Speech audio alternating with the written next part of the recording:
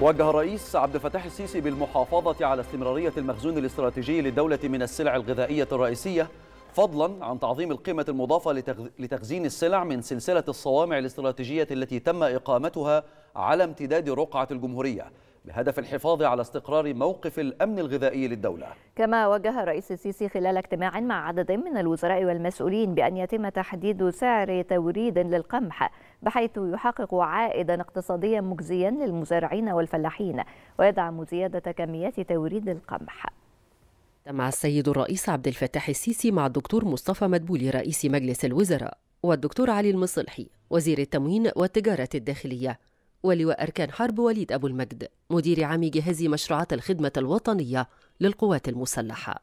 صرح المتحدث الرسمي باسم رئاسة الجمهورية. بأن الاجتماع تناول متابعة موقف مخزون السلع الغذائية الأساسية على مستوى الجمهورية. وكذلك زراعة المحاصيل للموسم الزراعي الحالي. وقد اطلع السيد الرئيس في هذا الإطار على موقف المخزون الاستراتيجي والأرصدة لجميع السلع الغذائية الأساسية للدولة.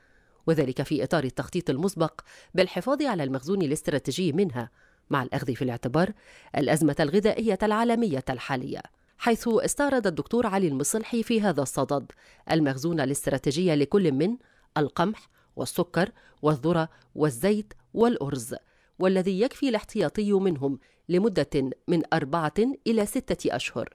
فضلا عن المتوفر من اللحوم الطازجة والدواجن والذي يكفي لمدة عام كامل. وقد وجه السيد الرئيس بالمحافظة على استمرارية المخزون الاستراتيجي للدولة من السلع الغذائية الرئيسية فضلا عن تعظيم القيمة المضافة لتخزين السلع من سلسلة الصوامع الاستراتيجية التي تم إقامتها على امتداد رقعة الجمهورية. وذلك بهدف الحفاظ على استقرار موقف الأمن الغذائي للدولة من خلال تلبية احتياجات المواطنين بالكميات الملائمة. كما تابع السيد الرئيس مستجدات الموسم الحالي لزراعة القمح 2022-2023 على مستوى الجمهورية. موجها سيادته بأن يتم تحديد سعر توريد القمح بحيث يحقق عائدا اقتصاديا مجزيا للمزارعين والفلاحين ويدعم زيادة كميات توريد القمح. أضاف المتحدث الرسمي أن اللواء وليد أبو المجد أعرض الموقف التنفيذي لعدد من مشروعات الاستصلاح الزراعي على مستوى الجمهورية.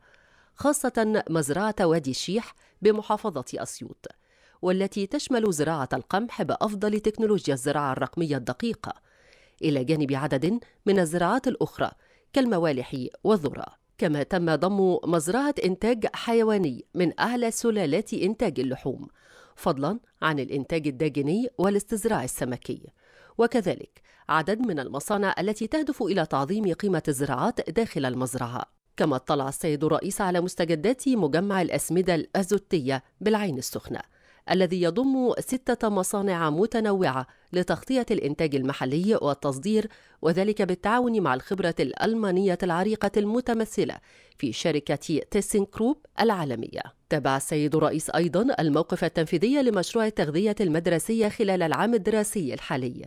سواء من حيث محتويات الوجبة وتكلفة إنتاجها وسبل توزيعها على مختلف المراحل العمرية بالمدارس. واطلع السيد الرئيس كذلك على موقف مشروع مراكز تجميع البلازما على مستوى الجمهورية سواء من ناحية الإنشاء أو التجهيز وكذلك الحرص على اتباع أعلى معايير الجودة في تجميع البلازما.